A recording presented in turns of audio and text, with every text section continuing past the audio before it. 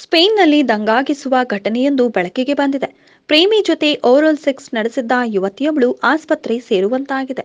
ಮಾಹಿತಿಯ ಪ್ರಕಾರ ಸ್ಪೇನ್ ನಿವಾಸಿ ಮೂವತ್ತೊಂದು ವರ್ಷದ ಮಹಿಳೆ ಬಾಯ್ ಜೊತೆ ಓರಲ್ ಸೆಕ್ಸ್ ಮಾಡಿದ್ದಾಳೆ. ನಂತರ ಆಕೆಗೆ ವಾಂತಿ ಕಾಣಿಸಿಕೊಂಡಿದೆ ಪರೀಕ್ಷೆ ನಡೆಸಿದ ವೈದ್ಯರು ಇದೊಂದು ಅಪಾಯಕಾರಿ ಅಲರ್ಜಿ ಅಂತ ಹೇಳಿದ್ದಾರೆ. ಮಹಿಳೆ ಗೆಳೆಯನ ವೀರ್ಯವನ್ನ ನುಂಗಿದ್ದಾಳೆ. ತಕ್ಷಣ ಆಕೆಗೆ ವಾಂತಿ ಶುರುವಾಗಿದೆ. ಉಸಿರಾಡಲು ತೊಂದರೆಯಾಗಿದೆ. ತಕ್ಷಣ ಆಕೆಯನ್ನ ಆಸ್ಪತ್ರೆಗೆ ದಾಖಲಿಸಲಾಗಿದೆ.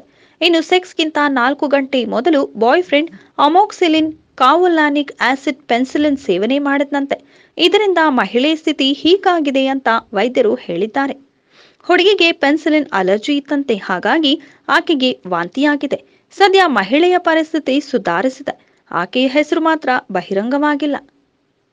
ಮಾಡಿದ್ದುಣ್ಣೋ ಮಾರಾಯ ಅನ್ನೋದಕ್ಕೆ ಈ ಒಂದು ಘಟನೆಯೇ ಸಾಕ್ಷಿಯಾಗಿದೆ. ಇನ್ನಷ್ಟು ಲೇಟೆಸ್ಟ್ ಅಪ್ಡೇಟ್ಸ್ಗಳಿಗಾಗಿ ನಮ್ಮ ಯೂಟ್ಯೂಬ್ ಚಾನಲ್ ಅನ್ನು ಸಬ್ಸ್ಕ್ರೈಬ್ ಮಾಡಿ.